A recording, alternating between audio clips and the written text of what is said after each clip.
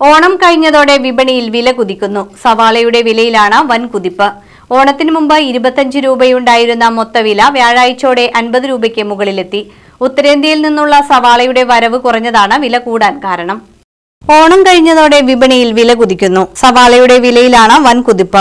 ഓണത്തിന് മുൻപ് ഇരുപത്തിയഞ്ച് രൂപയിൽ നിന്നിരുന്ന മൊത്ത വ്യാപാര വില വ്യാഴാഴ്ച അൻപത് രൂപയ്ക്ക് മുകളിലെത്തി. ഉത്തരേന്ത്യയിൽ നിന്ന് സവാള എത്തുന്നത് കുറഞ്ഞതോടെയാണ് വില കൂടുന്നത്. മഹാരാഷ്ട്രയിലെ കനത്ത മഴയാണ് സവാളയുടെ വരവ് കുറച്ചതെന്നാണ് വ്യാപാരികൾ പറയുന്നത്. രണ്ടു മാസം കഴിഞ്ഞാൽ മാത്രമേ പഴയ നിലയിൽ സവാള എത്തിത്തുടങ്ങാനിടയുള്ളൂ എന്നാണ് വ്യാപാര കേന്ദ്രങ്ങളിൽ നിന്ന് ലഭിക്കുന്ന സൂചന. മുപ്പത്തഞ്ച് രൂപയിലായിരുന്ന ഉള്ളിക്ക് വില കയറി വില മുപ്പത്തൊമ്പത് വരെ എത്തി. പൂജ ദീപാവലി അവധിയാകുന്നതോടെ ഉത്തരേന്ത്യയിൽ ഇനിയും വില കുതിച്ചു കയറാൻ സാധ്യതയുണ്ടെന്നാണ് മൊത്ത വ്യാപാരികൾ പറയുന്നത്.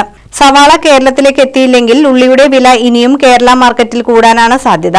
ഓണത്തിന് കടകളിൽ എടുത്തുവച്ചിട്ടുള്ള ഉള്ളിയുടെയും സവാളയുടെയും കരുതൽ ശേഖരം തീരുന്നതോടെ ഇനിയും വില ഉയരും. വഴിക്കച്ചവടത്തിന് നൂറ് രൂപയ്ക്ക് അഞ്ച് കിലോ വിറ്റിരുന്ന തമിഴ്നാട്ടിൽ നിന്നുള്ള രുചിക്കുറവുള്ള സവാളയ്ക്കും കിലോയ്ക്ക് മുപ്പതിനും മുപ്പത്തഞ്ചിനും ഇടയിലേക്കാണ് മൊത്ത കച്ചവടക്കാർ വില ഉയർത്തിയത്. സവാള കഴിഞ്ഞാൽ അമ്പരപ്പിക്കുന്ന വിലക്കയറ്റം ഉണ്ടായിരിക്കുന്നത് ചെറുനാരങ്ങയ്ക്കാണ്. കിലോയ്ക്ക് നാനൂറ്റി നാൽപ്പത് രൂപയിലേക്കാണ് വ്യാഴാഴ്ച ചെറുനാരങ്ങയുടെ വില എത്തിയത്. തമിഴ്നാട്ടിൽ നിന്ന് നാരങ്ങ എത്തുന്നത് കുറഞ്ഞതാണ് വിലക്കയറ്റത്തിന് കാരണം. ഓണവും ചിങ്ങമാസത്തിലെ വിവാഹ ചടങ്ങുകളുടെ തിരക്കുമാണ് നാരങ്ങ വിപണിയെ പിടിച്ചുലച്ചത്.